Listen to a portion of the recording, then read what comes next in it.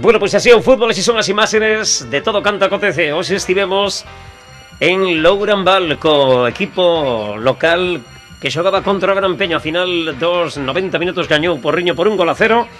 E nos agora falamos da regional preferente Grupo Sur. As cousas volven a estar como estaban a semana pasada. É dicir, co Areas non cede. O Areas sigue comandando a clasificación vai camiño de terceira división. E despois de endosarlle esta tarde de domingo o Mondariz 3 goles a 0.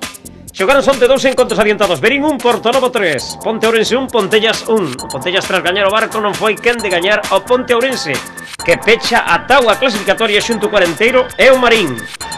Barco 2, Estradense 1, Gallargos de Valdeorras. Choco 3, Arenteiro 0 Baladares 2, Ribadumia 0 Ribadumia leva unhas tres xornadas que non levanta a cabeza. Grove 0, Pontevedra B 0 Atios 2, Gondomar 3. Vende perder o equipo de Curiel dúas jornadas consecutivas. A pasada fin de semana en Pontevedra, esta vez aquí na casa no Carballo 2-3 ante o Gondomar.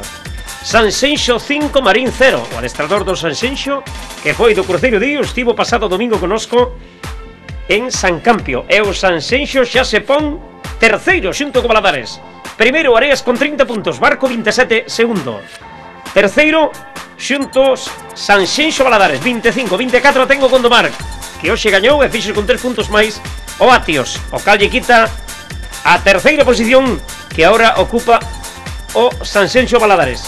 Atios 22 puntos. Na décima primeira posición Arausa 17 13 para Pontella 16 E Pecha, Arenteiro, Marín e Ponte Ourense. Pois así rematou a xornada na Rexional Preferente Grupo Sur.